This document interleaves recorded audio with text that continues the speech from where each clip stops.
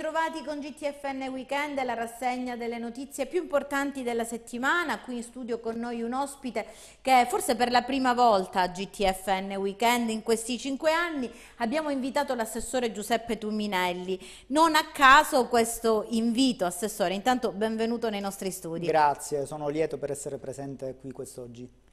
Eh, non a caso perché questa è stata la settimana delle opere di compensazione, Fossanco che si parla di opere di compensazione da quasi 15 anni, però ehm, questa settimana c'è stata l'assemblea dei comitati di quartiere eh, nella quale si è parlato tanto delle opere di compensazione. E il giorno 13 andrete a Roma a parlare con ANAS, col General Contractor e sperando che partecipino con tutti quanti i deputati nazionali della nostra provincia per appunto discutere di queste opere di compensazione che sembra essere la storia infinita. E infatti, quindi la pensiamo allo stesso modo? Perché... Assolutamente sì. Ehm, allora, partiamo subito dall'inizio. Ci vuole dire quali saranno le opere di compensazione in un minuto? Certamente, mm, come lei diceva, giustamente se ne parlano da tantissimi anni delle opere di compensazione. Va detto che una parte delle opere di compensazione sono state in realtà già realizzate, perché quelle inserite nel famoso progetto esecutivo redatto dal General Contractor e approvato da ANAS. General Contractor, spieghiamolo che è la CMC. 2, sì, Empedocle 2 e quindi la, la CMC. CMC. Per ciò che concerne per l'appunto le eh, opere di compensazione erano suddivise a suo tempo nel progetto esecutivo in in tre ambiti, bonifica delle discariche esauste RSU, tra le quali troviamo la discarica Montestretto e altre due discariche ricadenti nel comune di San Cataldo, mentre le altre due macrovoci erano relative a cave eh, esauste e dall'altra parte a rimodellamenti morfologici di terreni in entrambi i casi di privati. Detto questo, quindi dobbiamo dire per l'appunto che una parte di queste opere di compensazione in realtà sono già state realizzate. Ma noi non le abbiamo viste perché sono nei terreni di gente privata, Assolutamente, di, di privati cittadini. Certamente, certamente. Infatti nelle tre macrovoci erano state stanziate qualcosa come circa 8 milioni e mezzo nell'ambito proprio delle opere di compensazione ambientale, più altri circa 13-14 eh, milioni di euro nell'ambito delle mitigazioni ambientali. Detto questo, il Consiglio Comunale nel giugno del 2017 si è espresso in ordine all'utilizzo della quota rimanente, ovvero dei 2,8 milioni di euro relativi alla eh, bonifica della discarica Montestretto, per la quale il Comune di Caltanissetta eh, ha avuto, eh, attraverso il patto per il Sud, lo stanziamento di ben 11 milioni di euro. Per questo motivo il Consiglio Comunale ha eh, deliberato richiedendo una rimodulazione del, di queste opere di compensazione individuando in bivio la spia eh, quell'azione eh, di risanamento ambientale eh, relativa al dissesto idrogeologico che è tuttora in corso. Quindi non lo rifaranno da capo, lo, lo sistemeranno, il bivio la spia? Sì, l'opera, i 2,8 milioni di euro saranno indubbiamente utilizzati per cercare di contenere il dissesto idrogeologico della zona con la finalità di eh, riaprire una volta per tutte la circonvallazione di Bivio La Spia che è chiusa da più di 40 anni probabilmente e che in un ambito di viabilità cittadina diventa un importante asse di collegamento tra la 640 e qui quindi eh, lo svincolo A19 Catania-Palermo con la zona del centro storico, Santa Barbara, Fierrio e quant'altro. Si parlava di via Mangiolasagne perché all'interno dell'assemblea dei comitati di quartiere c'era il presidente del comitato di via Mangiolasagne che racconta appunto dei disservizi che loro hanno nella loro strada perché è stata una strada battuta da camion che hanno portato ovviamente lavoro alla 640 quindi hanno portato ehm, tutto quello che era necessario per la costruzione e quindi la strada è stata completamente dissestata. Questa, questa, strada verrà risistemata e fa parte delle opere di compensazione? Facciamo chiarezza? La strada verrà risistemata al pari della ex 122 bis, per la quale ANAS ha già presentato all'ufficio tecnico del comune di Caltanissetta un progetto preliminare per la messa in sicurezza di tutta la strada, ovvero eh, contenente opere edili per il risanamento, per il contenimento del dissesto idrogeologico, per il rifacimento del cassonetto stradale e per il rifacimento della segnaletica orizzontale e verticale. Eh, in questi lavori ci sarà anche l'innesso alla via Mangia Lasagne. Le somme non sono prelevabili dal quadro delle opere di compensazione del progetto esecutivo dell'ammodernamento della 640, ma è un accordo tra il comune di Caltanissetta e ANAS che riconoscendo tutto quello che la comunità nissena di aver patito, dissestato eh, aver strade. dissestato sì ma dall'altra parte ha patito e sta patendo tuttora eh, tutto quello che concerne la chiusura del viadotto San Giuliano, allora per questo motivo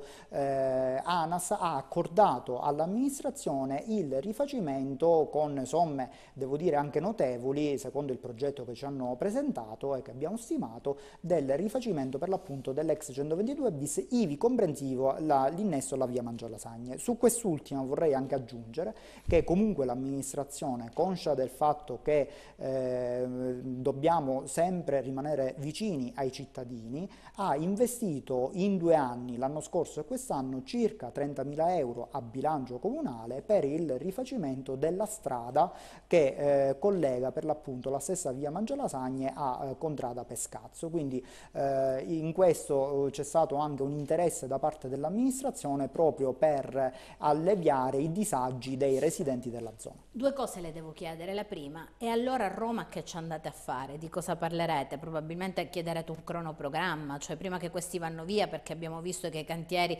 a un certo punto si sono svuotati, poi è arrivato l'assessore regionale Falcone e tutta, di tutto botto si sono rimessi a lavorare. Dopodiché dico a Roma che farete? Seconda cosa, mi deve dare delle certezze sul viadotto San Giuliano.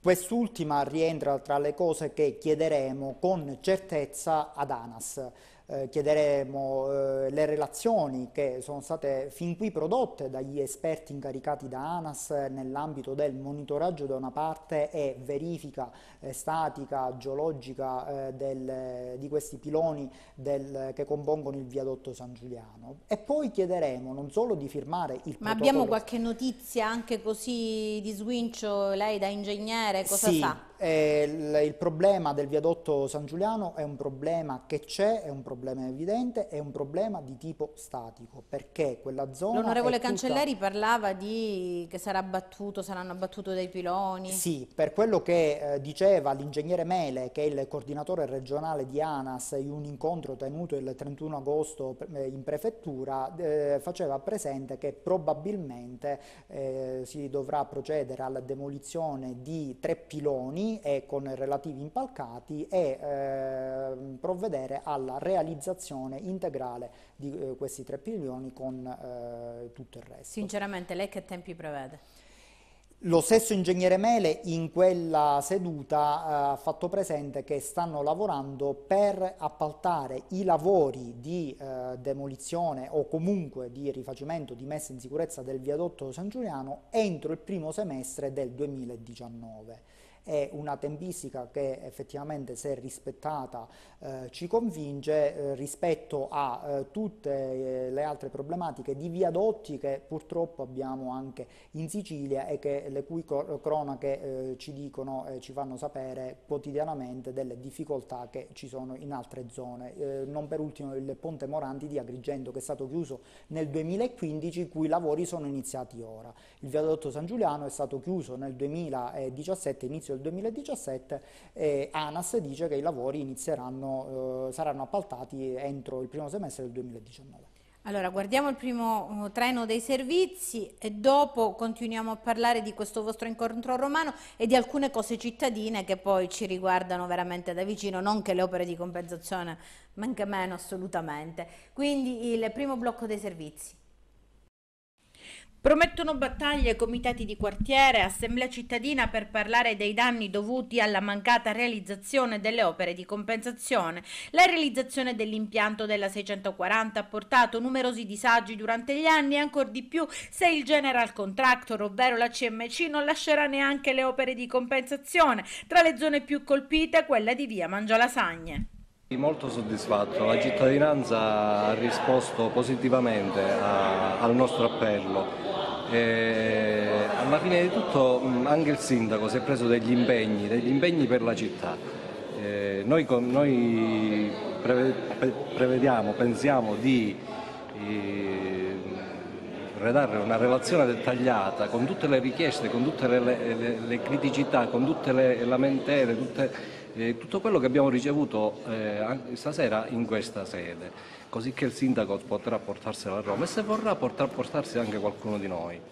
Sarebbe, sarebbe, anche opportuno farlo. Pur non di meno, il giorno 15 ci ha dato appuntamento di nuovo in questa sede e eh, che servirà, eh, servirà, a fare un'altra assemblea cittadina dove il sindaco spiegherà, ci deluciderà su tutto ciò che è riuscito a ottenere a Roma. E in questa sede, il giorno 15, la città deciderà il da farsi, se le risposte saranno positive o se le risposte saranno negative. Tante le storie ascoltate durante l'affollata riunione che si è tenuta alla Biblioteca Scarabelli a moderare il giornalista Giampiero Casagni, tra tutte quella di Calogero Virzì, un giovane imprenditore che ha raccontato della sua storia di quotidiano abbandono, ha parlato di indifferenze e di mortificazioni. Siamo un'azienda produttrice nel campo agricolo, nel settore agricolo e la nostra azienda è sita proprio sulla 640 ed effettivamente abbiamo avuto sì dei disagi ai quali noi comunque abbiamo affrontato perché comunque è un'opera imponente del quale anche noi siamo consapevoli che è importantissima e utilissima però siccome abbiamo visto, come ripeto, che nella costruzione del corpo stradale non è stata attenzionata le opere di eh, convogliamento e smistamento di acque, ha provocato dei danni alle proprietà limitrofe. Ho detto, chiediamo tutti i livelli, sia istituzionali che anche riguardante le imprese come la Camera di Commercio con il nuovo commissario e con altre istituzioni politiche, tutti i politici, di venirci a trovare e a stare al nostro fianco perché noi portiamo ricchezza, noi pensiamo portiamo lavoro e benessere. Numerose le proposte, dalla class action alla protesta plateale, anche a Roma se necessario, ma tante le domande, dalla quantificazione del danno subito all'elenco preciso delle opere di compensazione che dovranno essere realizzate, non quelle della delibera CIP, ma quelle che sono state votate dalla proposta di delibera del Consiglio Comunale.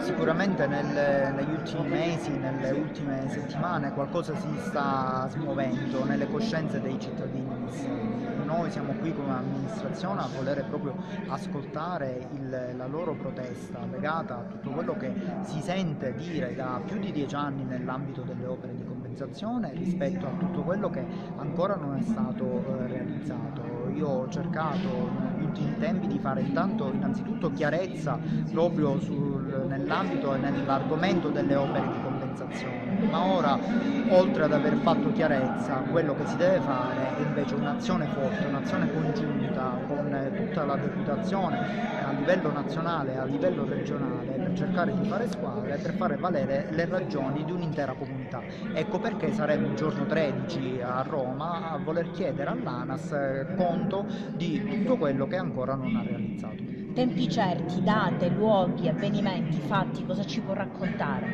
Vi posso raccontare che eh, l'Unicore eh, ha avuto un appalto attraverso la CMC, ovvero DANAS, la, la, redazione del progetto preliminare per ciò che concerne il bivio la spia e questa è la prima cosa nell'ambito delle opere di compensazione. ANAS ha altresì inviato il protocollo d'intesa che firmeremo a breve per ciò che concerne la messa in sicurezza dell'ex 122 bis, arteria alquanto importante nella viabilità, lo abbiamo visto nelle ultime settimane, con somme non derivanti eh, dal quadro delle opere di compensazione e eh, in ultimo eh, anche ciò che riguarda l'innesso alla via Mangialasagna di cui anche oggi è stato presente il comitato di quartiere avendo evidenziato una serie di problematiche.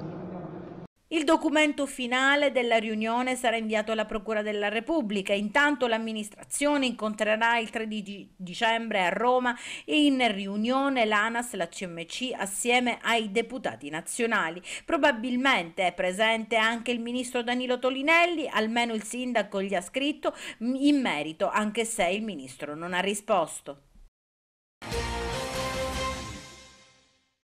Pare ci siano buone notizie in merito ai lavori di ammodernamento della strada statale 640 Agrigento-Caltanissetta. L'assessore regionale alle infrastrutture e mobilità Marco Falcone ha incontrato la CMC Ravenna e ANAS. Si parlerebbe infatti di una ripresa dei lavori e di una prosecuzione del rapporto tra le parti. La regione dovrebbe inoltre ricevere nei prossimi giorni anche il cronoprogramma dei lavori. È stata trovata una soluzione alternativa per contrastare la ricrescita delle erbe infestanti nelle zone di pertinenza comunale, dato che non è più possibile effettuare il diserbo chimico. Un'idea che pare sia già stata attuata anche in altre città. Si tratta del piro di serbo, una pratica che attraverso il calore provoca la morte della pianta a distanza di pochi giorni. Lo scerbamento di marciapiede e scalinata attualmente viene garantito dalla ditta che si occupa dei rifiuti, mentre quella affidataria del servizio del verde pubblico interviene nelle ville comunali, aiuole, aree verdi di scuola scuole e immobili comunali. Intanto però in supporto degli interventi vengono effettuati anche dalle squadre comunali, composte o dal personale del comune o dai mini cantieri e saranno proprio loro che utilizzeranno il macchinario recentemente acquistato dal comune per mettere in pratica il Piro di Serbo. L'intervento riguarderà le ville, parchi comunali. La tecnica, ritardando la crescita delle erbe infestanti, eviterebbe il taglio meccanico molto più frequente e generalmente necessario per ovviare il problema, con un risparmio economico per il comune. Allora, Assessore Tuminelli, ehm, quindi cosa chiederete? Proprio me lo devi dire in un flash perché poi dobbiamo parlare di scerbamento di San Luca, di altre cose. Cosa chiederete a Roma? Notizie certe eh, e tempistiche e cronoprogramma per ciò che riguarda il viadotto San Giuliano, la stipula del protocollo d'intesa con, con, ANAS per ciò che riguarda il rifacimento e la messa in sicurezza dell'ex 122 bis, ivi comprensiva l'innesso alla via Mangialasagne, tempi certi e cronoprogramma per ciò che riguarda la realizzazione dell'opera di compensazione riguardante il bivio La Spia. Lei è pronto alla battaglia?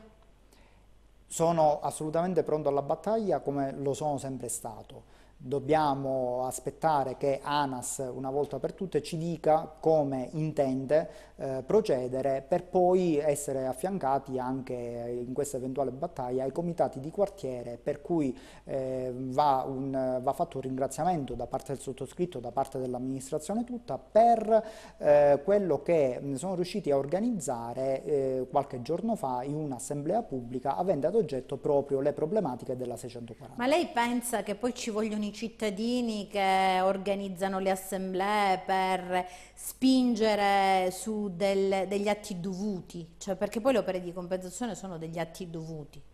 Sono degli atti dovuti, però ahimè sappiamo sempre quali sono le trafile e le lungaggini burocratiche. Lei poco fa ha detto dobbiamo aspettare, forse il tempo di aspettare è finito.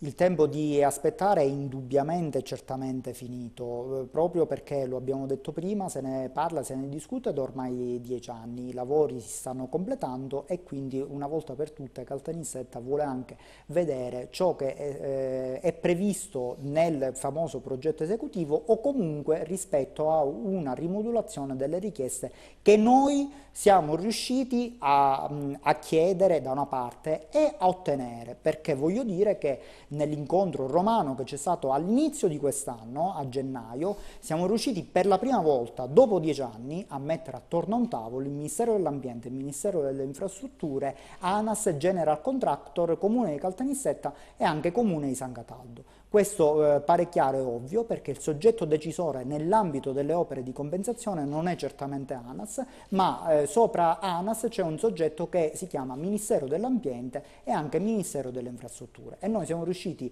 a ottenere, chiedendolo, eh, perché lo ha chiesto innanzitutto il Consiglio Comunale che è espressione di un'intera città, la rimodulazione delle opere di compensazione e quindi siamo andati direttamente alla fonte decisionale per ottenere ciò che il Consiglio Comunale comunale e quindi la città tutta ha richiesto per quello che si può fare ad oggi rispetto a un qualche cosa che doveva essere fatto tempo fa ovvero la, la, richiesta di ulteriori, a mio modesto modo eh, di vedere, ulteriori eh, lavori che invece di essere effettuati in siti di privati, che comunque sono previsti eh, dalla legge, eh, realizzare opere, opere, che sarebbero state eh, fruibili da tutti i cittadini eh, con la speranza che i cantieri non eh, vadano via e quindi poi sarà più difficile tornare. Questo è il suo compito, quello di sorvegliare i tempi, nel senso che deve fare in modo che tutto questo accada e a voi rimangono solo sei mesi. Purtroppo a questo punto questo accada prima che i, i cantieri vengano smantellati. Chiudiamola qui perché dobbiamo parlare di un'altra cosa. C'è lo scerbamento in città che avete comprato questa cosa eh, che brucia, insomma, ora ce lo spiegherà e poi le devo, una, le devo dare diritto di replica perché a San Luca, il presidente del comitato di quartiere, abbiamo tanti comitati di quartiere, come mai in, prima in questa città aveva, ha detto che c'è un angolo eh, che mh, mm, potrebbe diventare il nuovo angolo della vergogna, uno ne, ce l'avevamo insomma a tratti in Via d'Italia, adesso un altro in, eh, a San Luca. Cosa risponde in merito? Rispondo nel merito che abbiamo iniziato da mm, pochissime settimane la bonifica dei siti contenenti da una mm, parte sfalci di mm, eh, potatura o comunque materiale edile vario, di vario genere, ma dall'altra parte anche la presenza di amianto. Eh, va detto che il Comune eh, spende a bilancio e prevede a bilancio ehm, somme ingenti per realizzare la bonifica di questi siti. Detto questo, al comitato di quartiere eh, e a, nella persona di eh, Nello Ambra dico che eh, la, mh, la, bonifica di questo sito verrà effettuata settimana prossima, eh, secondo l'elenco prestabilito che se mi avesse insomma, chiesto e mi avesse interpellato io avrei detto proprio come sito. Ma noi siamo era... dei media, quindi facciamo da intermezzo, l'ha detto a noi e lei lo sta rispondendo, va bene, abbiamo fatto il nostro mestiere, un problema è stato risolto. Parliamo invece dell'osservamento, eh, c'è questo problema, la regia mi chiede la linea per la pubblicità, allora andiamo in pubblicità e poi parliamo dell'osservamento. Pubblicità.